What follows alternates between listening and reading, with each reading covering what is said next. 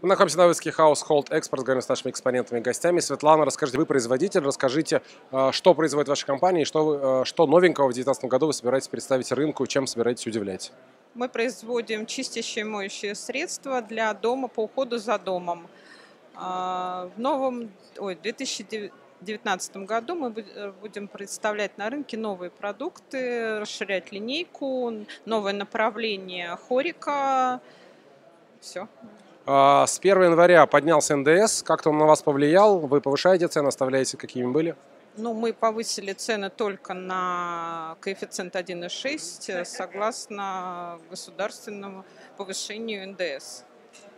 А Как, кто является вашим конкурентом? Это китайские производители, европейские? Что в России с вашими конкурентами стоит? То есть и, и какие технологические у вас есть возможности, чтобы конкурентное преимущество у вас было?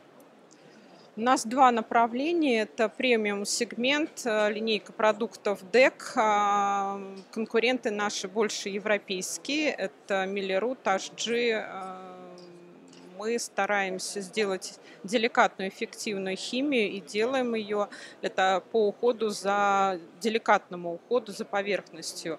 А Если брать средний ценовой сегмент, э, линейку продуктов премиум хаус, это это конкуренты Уникум, Синергетик. Э, Стараемся по ценообразованию сделать чуть ниже, чтобы наш продукт все узнали, попробовали и в дальнейшем покупали нашу продукцию.